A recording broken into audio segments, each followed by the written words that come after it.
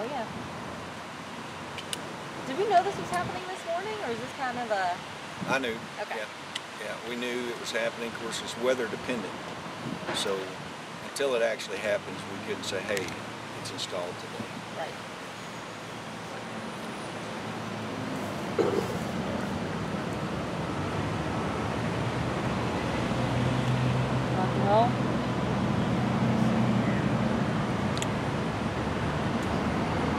Trying to stay out, stay out of that deal there, so I don't squint.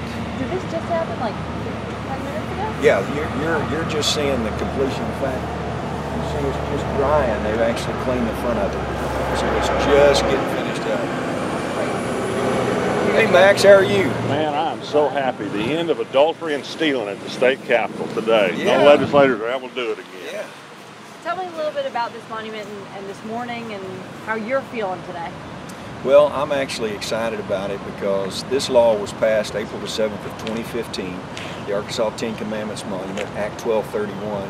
And so for me, I'm grateful to the Arkansas legislature and Governor Asa Hutchinson has made this possible. In addition to that, um, I'm also thankful to the American History and Heritage Foundation. They have actually made this contribution and this donation uh, to the state of Arkansas.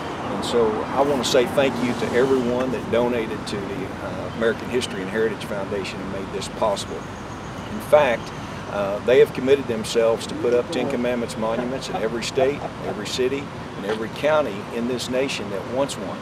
And so over time, uh, I was happy to be involved with them to make this possible for the people of the state of Arkansas. I mean, we just heard it going past us. This has been, there's been no shortage of controversy over this in the past few months specifically. Did you ever think this would happen? Did you think that this is, after all of it, it's a relief? Kind of talk about both sides of I, I think it's wonderful. We did not have a monument here that actually highlighted the historical moral foundation of law. And one of the interesting things is this monument is an exact replica of the monument at the Texas State Capitol, which was confirmed by the United States Supreme Court in 2005, Van Orden versus Perry. In addition, as you know how people will try to uh, do things to try to belittle the monument and what it is, not only is this an exact replica, it's actually from the same reservoir of granite in South Dakota that that monument is made from.